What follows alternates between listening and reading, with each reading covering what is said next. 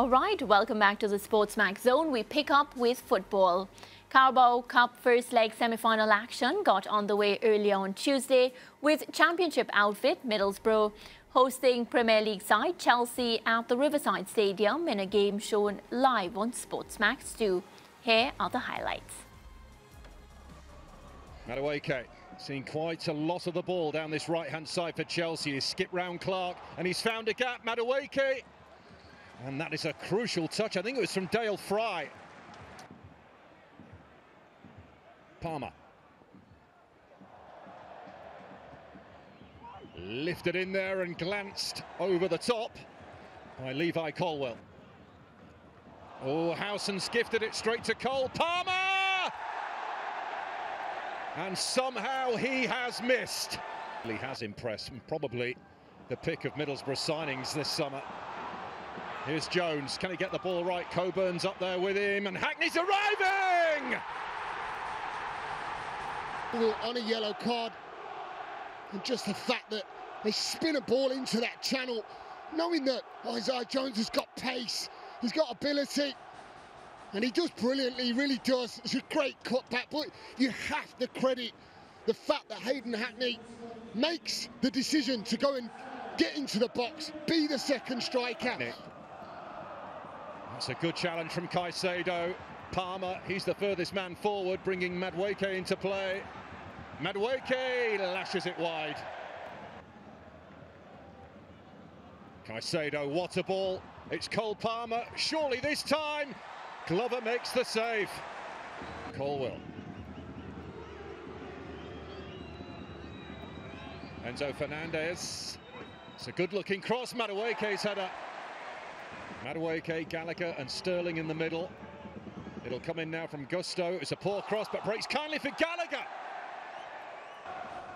One step closer.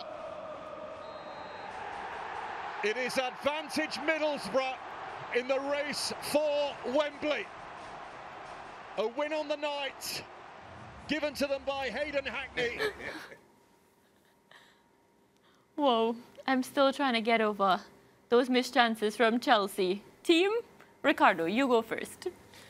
Well, an, when you're an average team, you produce average results. And that's uh-huh. what we've seen from Chelsea this entire campaign. It's difficult to ask a team that does not have the quality all round to consistently produce high quality performances. By the way, I, I, think Chelsea will reach the EFL Cup final, so I think they will turn this result around when they yeah. get to Stamford Bridge for the second leg. Well, you have to say that there's a big Chelsea fan standing in front of you. Oh, that, that's fine. That doesn't matter really. Okay, okay. Neither the fan nor yeah.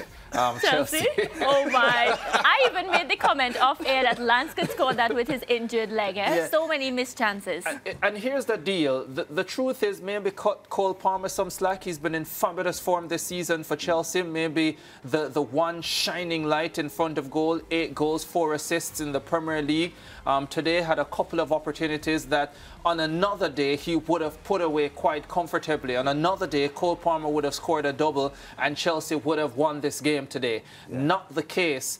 Um, but you have to believe that as inconsistent as they have been this campaign, they have the beating of this Middlesbrough team. And when they go to Stamford Bridge, they have more than enough to turn it around. That, that's just the way I see it. I can't see Chelsea not going on to win this tie. Yeah, the second leg will be very yeah, different. I, I, I would think that Chelsea will correct, you know, what went wrong today for them because today was an absolute shocker you know, Middlesbrough were without 12 of their first team players today. Yeah. Yeah. So this was a short-staffed Middlesbrough team. But, but Lance, it's the same thing that has been going wrong for the entire campaign. Yes they don't put away enough of their chances the is, on days the when chances. they create them. Yeah. Today they created so many Lance yeah. and Mariah. Mm. And as I said, chances on another on another day this could have been 4-1 comfortably. Yeah. Um, today it ends up being 1-0 mm -hmm. for Middlesbrough. Yeah, well, well, well, two things. The the Middlesbrough effort today was uh, was described as a counter-attacking masterclass because that's that's what they did today. The they soaked up pressure, defended as best as they it's could. It's only a masterclass because they ended up winning. Though. Well, that's why it's described as a masterclass uh, because they No, won. but they did not prevent Chelsea from creating clear-cut opportunities.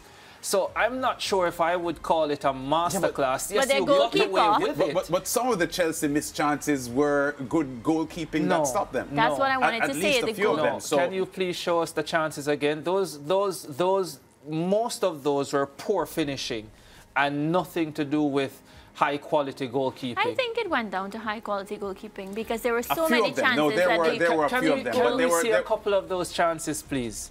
Did you see that last one just now? Have a look. Have a have a. Well, no, that's not a good example. Look, that doesn't count. Let's have, No, but there, let's there, have a there, look at there, this. there, there were a few. There were a few. Cole Palmer scores Exactly, that the goalkeeper eight was the times right out place. of ten. No, but that's way too close to the goalkeeper. That should be curling around him. But it And didn't. And even if he comes up with the save, it should be a significantly tougher save than So- that. so- so- that's a poor finish. Okay, so Michael Carrick's coaching um, acumen doesn't get in the stripes for this for this result. It's a good result, but I think sometimes we shouldn't fool ourselves by thinking, okay, so maybe that was the best way for Middlesbrough to survive. They went out there, um, they got men behind the ball, Yeah. And as much as possible, they tried to stop Chelsea. The point I'm making is Chelsea still created good enough chances that if you That have isn't- decent isn't- yeah. strikers, you put those away and you win this game. Yeah, so that's not in dispute. So you don't- think the, the loss came down to Chelsea's own doing? Like Yeah. it had nothing to do with Middlesbrough playing a good It game? It had less to do with Middlesbrough's tactics and more to do with Chelsea's lack of quality in front of goal. I, I don't think I could argue too much against that, but I think I'm giving Middlesbrough a little bit more credit than Ricardo is giving them. Yeah. Because they worked really hard today. With, They did, and a, they with, with a with a short win. staff team. With a short staff team. Can They you- all work really hard, Lance. Huh? They all work really hard. Chelsea worked really hard today too.